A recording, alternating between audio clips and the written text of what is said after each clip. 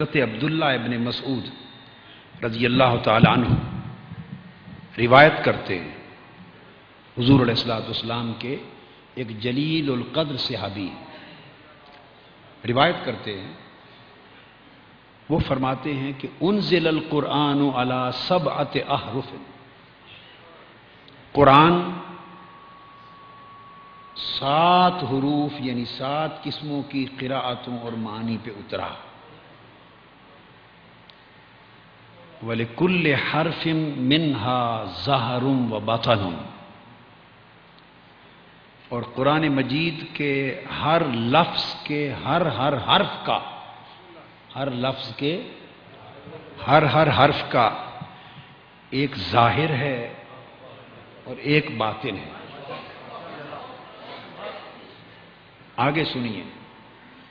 कौन बता रहा है? हज़रत अब्दुल्ला इबन मसूद।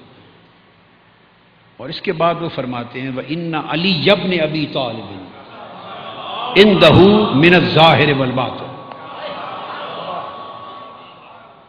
कुरान के हर लफ्ज के हर हर्फ का एक ज़ाहिर माना है, एक बातिर माना है।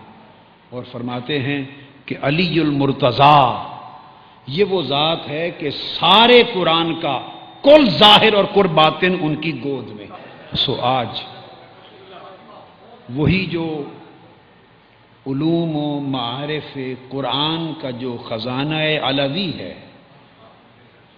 मारफ कुरान का जो अलवी ख़जाना है, जिसको मदीन इल्म मुस्तफ़ा का दरवाज़ा होने का शरफ हासिल है।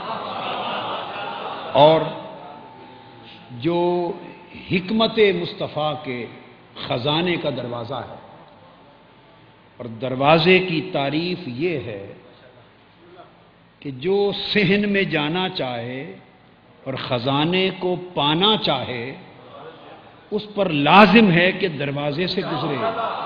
और जो और जो दरवाजे से गुजरना पसंद न करे, कोई और रास्ता तलाश करे या डाकू है या चोर है।